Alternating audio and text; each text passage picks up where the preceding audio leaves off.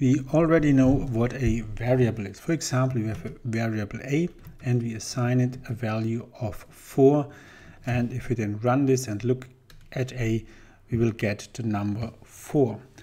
Now in fact there are two different types of variables and um, we can't distinguish them by just looking at them. And um, one is a local and the other is a global variable and I will now start with the global variable and then go to the local variable and by this it will become clear what it is. So for example, we have a variable and we call it test.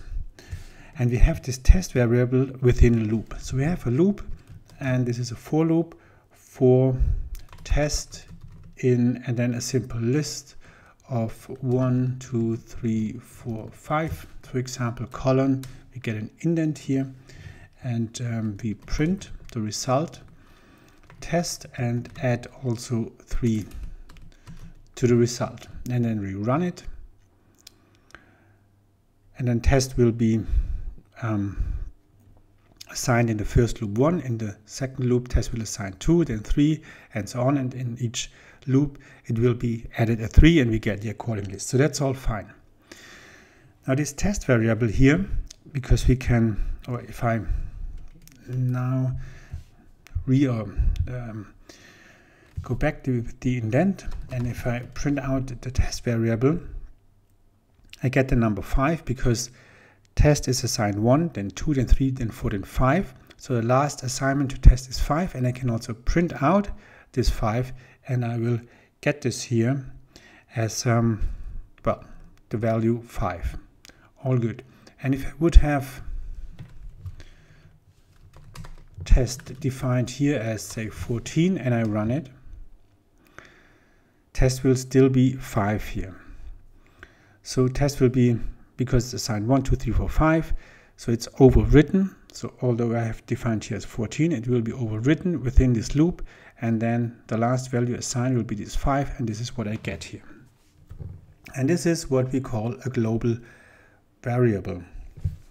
Um, should be global variable. So now it's right. This is a global variable. It's true everywhere. And if I use it again, it will be overwritten. Now maybe this is still a little bit unclear, but it will become clear now if we look at local variables.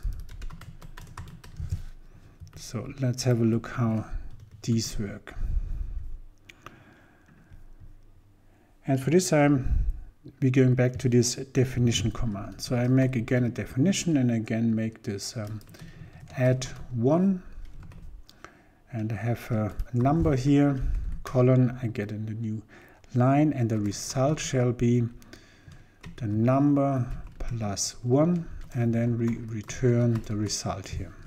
So I run this definition and nothing will happen and then I use this definition in the next cell so I use add 1 and put in 5, run it, and the result is of course 6.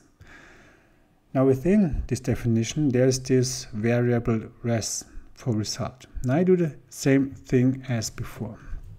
I define, oops, that's wrong here. I define or assi assign a value to res.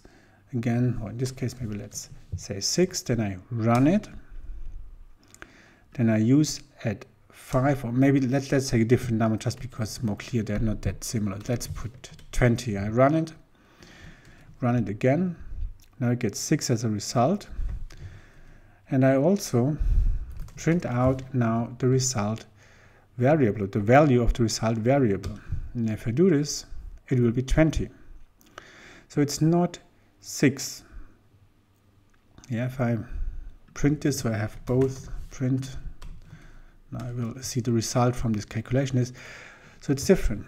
So although result in here is 6, it does not override the value in res that I assign up here.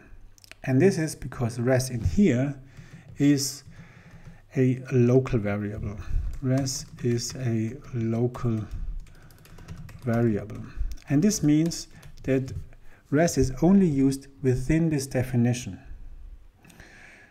So although it has the same name, it's handled internally, it's, it's assigned a specific number within this, it's handled internally differently.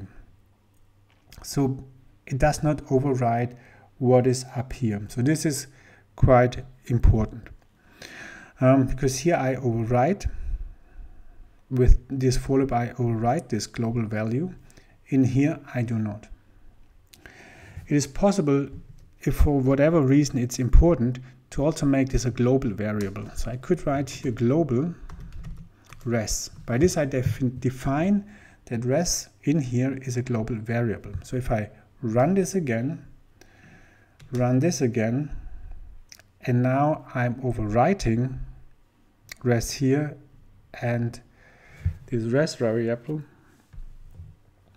I have up here and I assign 20 because it's local it will be overwritten with 6 and then the result is 6 and this global now global res variable is also 6. So this is quite an important distinction between these local and global variables and you need to know where it's a local variable and where it's a global variable. So within definitions, for example, it's always a local variable unless you define it differently.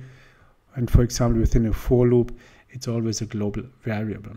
This will, um, when you use it after some while, this will become quite familiar and also you will know when it's global and when it's local. So this is um, making this correct as well. Variable and then that's it about global and local variables.